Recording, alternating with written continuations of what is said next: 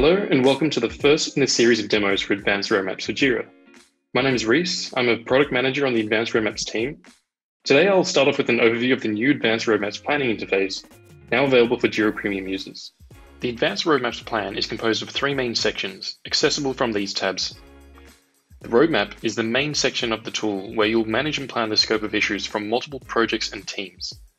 When you create a plan, you can select from multiple sources to pull issues from, whether they're projects, boards, or JQL filters. The next section is the Teams tab. This is where you create teams, define their velocities, whether they're a Scrum or Kanban team, associate them to an issue source such as their board, and define team members for the team. Next is the Release tab where you'll find the fixed versions associated to each of the issue sources in your plan. Here you can create new versions, manage release dates, and have an overview of status for each release.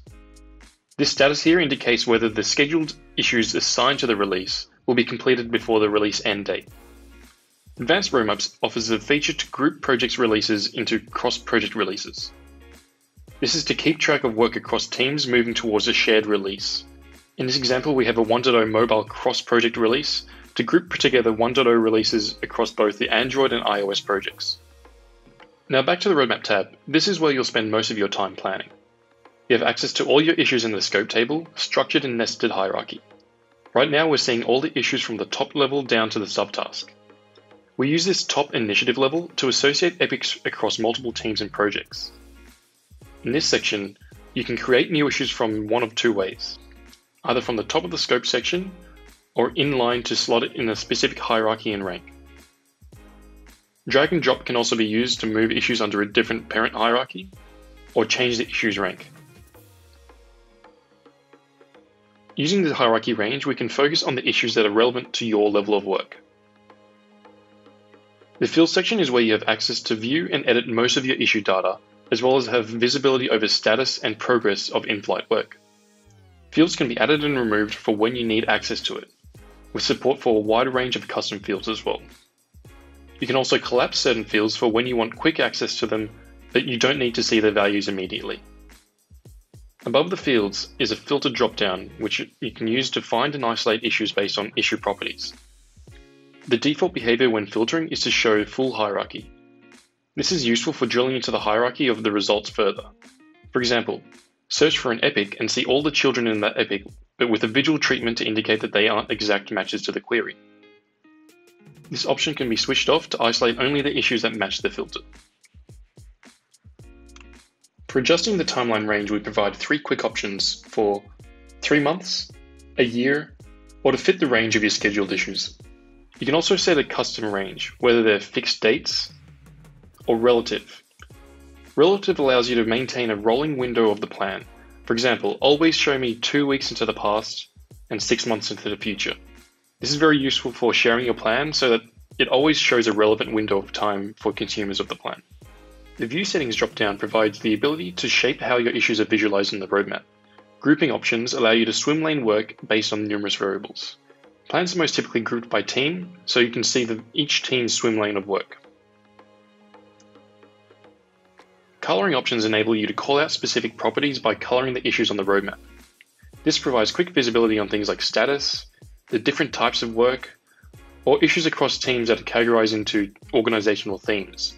In this example, we've organized issues into themes based on a label. Using roll-up options, you can view information on issues surfaced from their descendants. Here we have some epics that don't have dates set on them.